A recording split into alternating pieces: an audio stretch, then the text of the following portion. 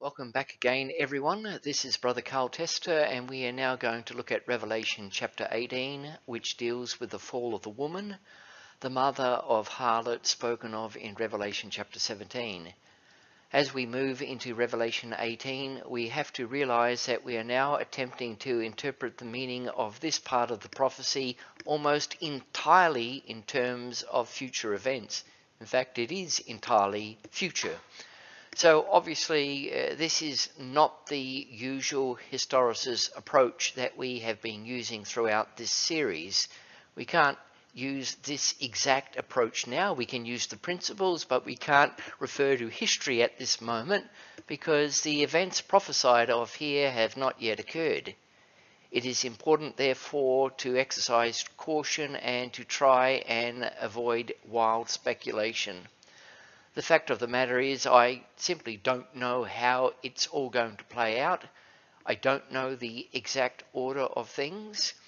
And I think that anyone looking at the state of the world would understand that world affairs are very complicated and that there is a lot of intrigue, secrecy, and wickedness going on in high places and for a person to try and unravel this is basically impossible. However, this presents no problem to God, so we must and we will trust in our Saviour to work out his eternal purposes, even in the middle of the abounding wickedness of our own Western nations.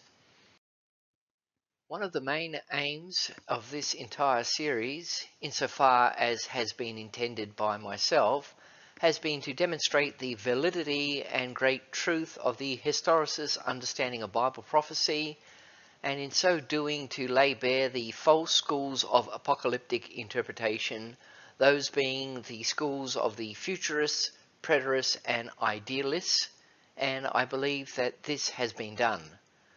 Accordingly, when we come to these later chapters, chapters 18 through to chapter 22, it is important for us to realize that while there may be a significant divergence in views among historicists as to what may actually transpire on the ground in our world today, we should not let that detract from the historicist's understanding of Bible prophecy as a whole. The historicist's understanding is biblical and true, and it is in the same vein as what Peter said in 2 Peter 1 verse 19, we have also a more sure word of prophecy, whereunto ye do well that ye take heed as unto a light that shineth in a dark place until the day dawn and the day star arise in your hearts. So don't cast aside anything of what we have learned just because we have a disagreement with somebody about what's next on the prophetic calendar. So with that said, let's get on with the contents of this chapter. Actually, before I get into this chapter, another thought has crossed my mind, and that is to do in relation to the more complex nature of the prophecy that has been developing since the latter part of Revelation 16. Now, if we stand back and look at the big picture, we see in the grand prophecy given Daniel 2 and 7 four great world empires, those being the Babylonian, Medo Persian, Grecian, and Roman empires.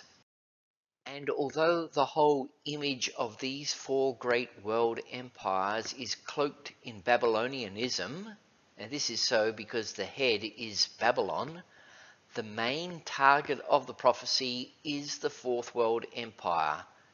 This is what the Grand Prophecy spends most of its time on, and it is this part that covers the longest stretch of time by far, the time from pagan Rome through its time of transition to papal Rome as the feet of iron mixed with clay and constituted of ten toes or ten European kingdoms as we know it, and this is continuing in this world to this very day. In Daniel 2, we see that the fifth kingdom, the stone kingdom of our Lord and Saviour Jesus Christ, smites the feet of the image, and the whole system of the kingdoms of men is completely destroyed and blown away forever. That's the big picture view, and it is quite straightforward. However, what is not so straightforward is the actual working out of all of this in history, particularly as it pertains to the Fourth World Empire. Now, this Fourth World Empire has gone through its pagan and papal periods of dominating the world. However, just as the papacy lost all of its temporal power in the 1800s and it looked set to collapse completely, it hasn't. A change has occurred. There appears to be a last and final transition in this Fourth World Empire. And we talked previously, if you recall, about the fall of the European crowns and the emergence of a European republic. And of course, right now, this European republic or European Union is right at the forefront of a tremendous clash with Russia at this particular point in time. It looks very serious and it looks like it's going to escalate and go all the way. Time will tell. However, putting that aside for a moment, in addition to all of this, other worldly powers and influences have also been brought into play by God to work out his will and purposes in this earth. For example, in Revelation 16, verses 12 and 14, we now have the kings of the east on the world stage in Revelation 16, verses 13 and 14, three unclean spirits, which are the spirits of devils, have come into play. They are deceiving the nations. They are gathering them together to the battle of that great day of God Almighty in Revelation 16, verse 14. And that is not a single uh, final battle in any particular year or day. This has been a process of war and calamity that has been part of the 20th century and is continuing strong to this very day and doubtless will reach its climax soon. We also have, uh, all of that was under the sixth vial. Then the seventh vial of wrath poured, was poured out into the air in Revelation 16, verse 17. Uh, also in Revelation 16, verse 19, we saw the great city was divided into three parts. And in Revelation 16, verse 21, that failed to produce any repentance. People, the nations, the kings of the earth, uh, the beast did not change its ways. And then we moved into Revelation chapter 17 and we saw that the woman is dressed, talking, and behaving like she has been unaffected by the first five vials of wrath. Then we saw in that same chapter the ten kingdoms of the beast, hating the woman and turning on her.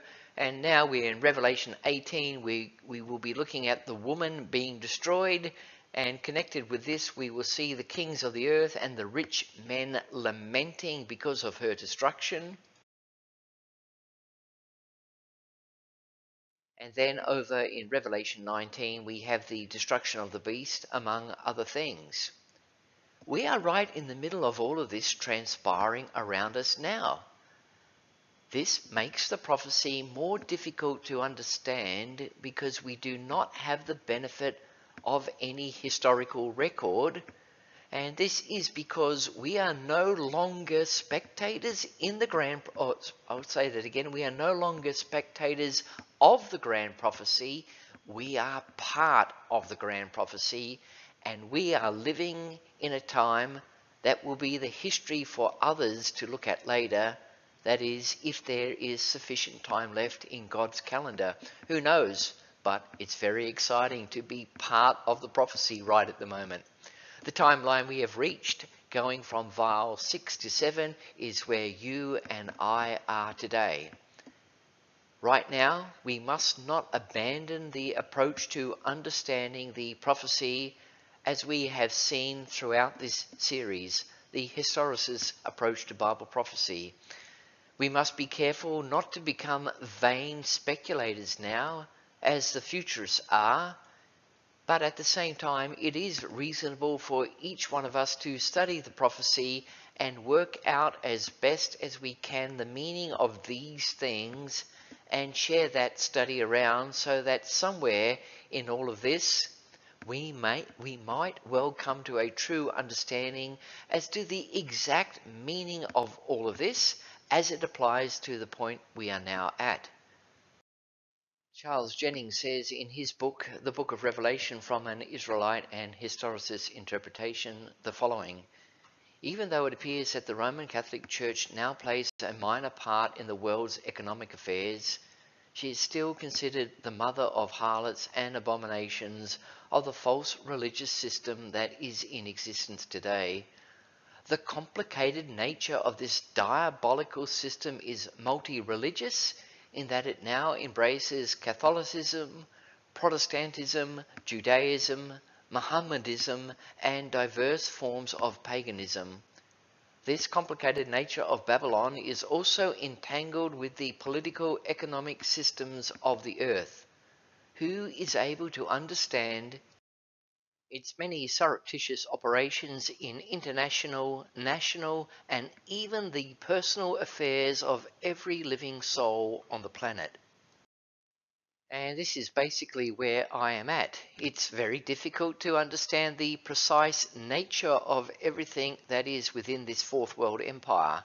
We have ecclesiastical Babylon, we can see this, but what is not so clear is that she has her Jesuit agents throughout the nations of the earth. They are in the high offices of the land or they are affecting the high offices of the land. Uh, that is much harder to see and work out fully. The woman, Ecclesiastical Babylon, is directly connected to the European Union and the banking and financial and trade systems of the world. Yet in Revelation 18, we see the woman being destroyed first, and as a result, the kings of the earth and the merchant men the globalists, while not destroyed at that point, are nonetheless in disarray and are going to distance themselves from the woman, as we're going to go on and see later. The woman is shown to be separate from these, yet at the same time, these rulers of the earth, these globalists, are part of this same fourth world empire and will also be destroyed and removed forever. But what is the exact line of delineation between all of these? I don't know. And that is the point that I am trying to make here. I don't have all of the answers, but I have plenty of questions, which I hope will be answered in the fullness of time. That ecclesiastical Babylon is still riding the beast, I think, is quite clear Apart from the European Union, which is her child, she also plays her part on the global stage. In this article of the 15th of March 2021 from Breitbart.com, uh, we read the following. It's called Pope Francis Calls for New World Order After the Pandemic.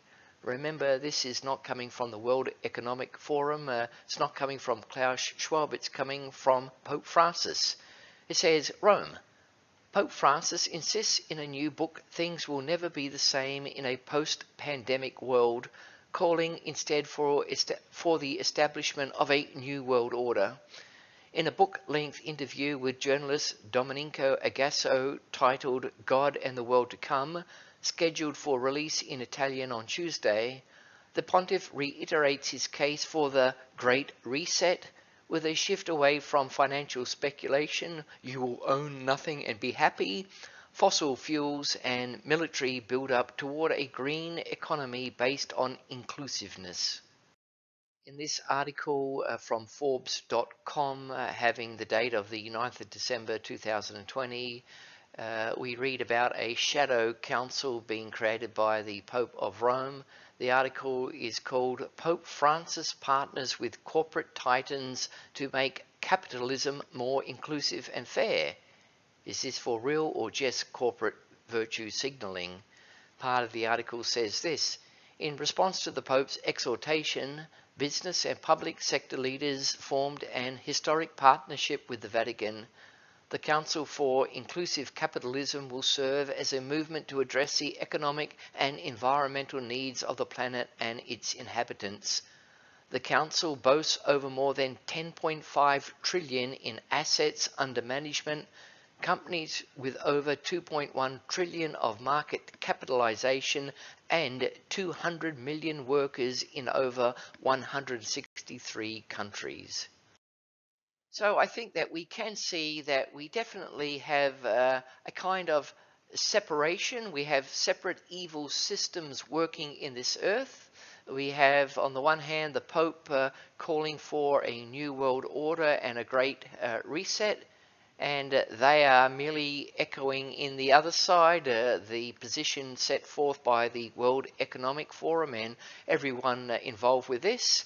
Uh, we can see there is a strong and direct connection between the papacy and the corporate world. There is a an interdependency that is operating among them. They cannot function the way they do without the other party. Now, as we're going to see later, when the woman is destroyed, the kings of the earth and the globalists, they distance themselves from her. Nonetheless, they are left in disarray and dismay because of her destruction. However, for now, let's get on with the, the contents of Revelation 18. We'll go to uh, verse 1, which I believe is going to be quite exciting. Revelation 18 verse 1 And after these things I saw another angel come down from heaven, having great power, and the earth was lightened with his glory. If you recall, right back in the very first part of this entire Revelation series, we saw that while this book is a book of prophecy, it is also the revelation of Jesus Christ and its principal purpose, the purpose that undergirds the book is to reveal Jesus Christ to us. He is risen from the dead. He is glorified and he is on the throne and he is in control. This is his story. And once more, at this late stage in the prophecy, our attention is again fixed upon him. Wonderful. So first off the bat, and as a matter of utmost importance, let us ask the question, who is this angel here? What angel has great power and is able to lighten the earth with his glory? Revelation 1 verse 16, speaking of Jesus says, out of his mouth went a sharp two-edged sword, and his countenance was as the sun shineth in his strength. Matthew 28 verse 18. And Jesus came and spake unto them, saying, All power is given unto me in heaven and in earth. Ezekiel 43 verse 1, verse 1. Afterward he brought me to the gate, even the gate that looketh toward the east, and behold, the glory of the God of Israel came from the way of the east, and his voice was like a noise of many waters, and the earth shined with his glory. Wonderful. In my opinion, Revelation 18 verse 1 is strikingly familiar with Revelation 10 verse 1, the period that gave us the opening of the European Reformation. Revelation 10 verse 1 tells us of the, might, the mighty angel that came down from heaven. And the description of this angel given there was a description of the Lord Jesus Christ. And he had a little book open in his hand. And this was the beginning of the breaking forth of the mighty work of the Protestant Reformation which was undergirded by a little book open. And that book was the open Bible. At that point in history, Europe was in the iron fist grip of the papacy, and because of this, the people were in terrible spiritual bondage and darkness. By all accounts, there was no remedy and no way through. The situation was utterly hopeless if you were considering this from a spiritual revival point of view. The people were in total darkness. But then Jesus Christ himself caused the open Bible to come forth to the masses, and it changed the course of Europe and with it the rest of the world. And I'm not going to repeat all of those details here because they are covered off in these earlier parts which you can refer to. Now we do obviously have an open Bible today and we can thank the Lord for that. However, the situation is not entirely dissimilar to that of the time of the Reformation. The masses of people, including the mass of church going people, are in gross spiritual ignorance and darkness. The world has invaded the church. It has invaded it with worldly dress, and that generally means a lack of it for the most part, worldly music, worldly philosophy, worldly principles, and so on. The world has turned the church upside down instead of it being the other way round. We are in the Laodicean age, a church that is not hot nor cold but lukewarm, and it makes God sick, as it says in Revelation 3, verse 16. An event like the Reformation of the 16th century doesn't seem likely given the state of affairs today. But then we read Revelation 18, verse 1 I saw another angel come down from heaven, having great power, and the earth was lightened with his glory. Marvelous. This chapter deals with the destruction of the woman and its worldwide consequences and effects, but the very same chapter opens with what appears to be good news. This angel coming down has great power and lightens the earth with his glory.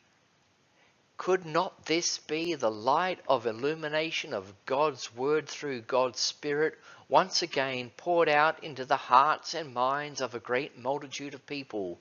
Could not this be a reformation far greater than the European Reformation? Could it not be a reformation far more effective than the European Reformation, which, despite the many blessings it produced, had many shortcomings? If this understanding is correct, then this will either precede or accompany the great destruction of the woman that is detailed in this chapter. The people that God has or will yet call unto himself are going to be preserved. They're not going to be raptured out of here. They're going to be preserved amidst all this turmoil and trouble coming upon the earth. Such a reformation would once again have to be in the western countries of this earth, which are the seat of Christianity in the world, because they house the literal lineal descendants of the whole house of Israel, those people which originally made up these nations. And God has not forsaken his people Israel, as it says in Romans 11, verse 1. This is the end of Revelation 18, part 1.